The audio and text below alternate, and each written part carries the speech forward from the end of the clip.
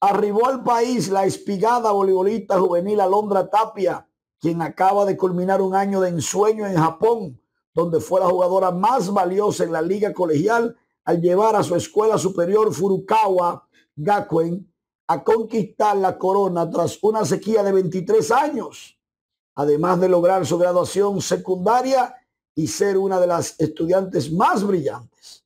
La atleta llegó acompañada desde Japón del presidente del proyecto de selecciones nacionales de voleibol femenino, el licenciado Cristóbal Marte Office, y de la directora de Relaciones Internacionales del proyecto, la inmortal mi panaful Milagros Cabral.